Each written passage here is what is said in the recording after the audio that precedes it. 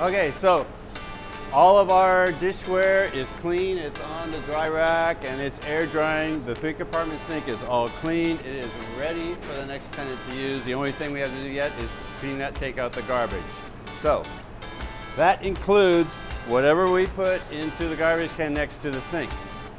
I know it looks like there's hardly anything in there, but there's food. If we leave it, after a couple hours, it starts to grow bacteria. After a couple minutes, it starts to attract flies and other critters. It seems inefficient, but we have to dump it. Everything that you put food in has to go away.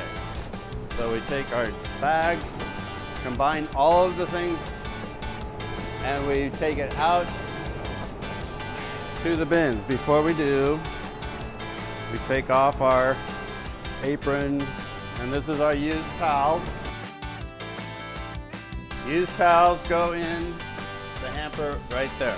If you think about it, sanitizer, give it a little spritz because flies seem to like that. A little, just a little extra. Okay, we're at the garbage bins most one of the most important things to do around here is always flatten all of your boxes and I mean totally flat it's not hard to do. Just step in it. Kick it down flat. Don't ever put a complete box in the in the garbage bins unless it's been flattened. And the gar and they can go in either bin green or blue whichever has the most room in it. The compostable however it came out of a black bag that was in the green garbage bin, always goes in the green. The recycle, which is plastic and metal, possibly cardboard and paper, always in the blue bin. Okay, let's go back, put new liners in these things, and we'll be done. Blue ones come from here.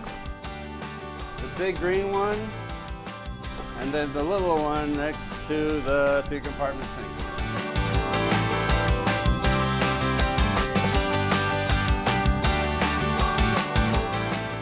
Okay, our garbage cans are all have new liners. The only thing we have to do is go get our product, package it up, and take it to our clients.